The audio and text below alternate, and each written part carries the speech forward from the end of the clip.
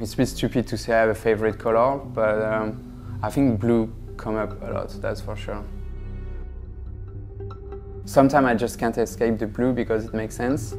Blue is the sea, is the sky, is the mountain, it's the night.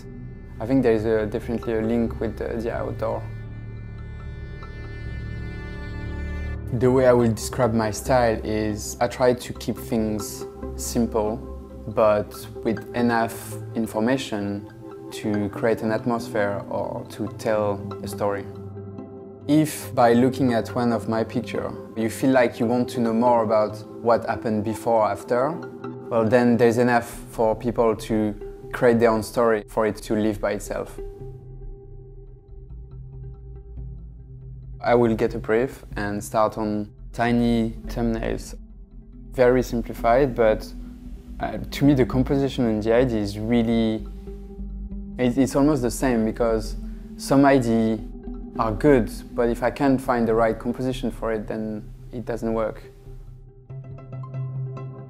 Once I'm happy with a few of that, I'm gonna test them in Photoshop, so a bit bigger, sometimes with colors, to kind of have a feel about the picture and know if it actually works. From there is an exchange with the client and trying to reach uh, something they're happy with. Maybe it's a bit cliche, but I think it's those moments where you are doing an action that don't need thinking. Sometimes that's where you are like, oh, and what if I try that? Because you have been banging your head on a problem for a long time. When I climb, it's, it's something where you are really focused on what you do. It's one of the only things I can do without thinking about work or anything else. I really like the problem solving in illustration and in climbing.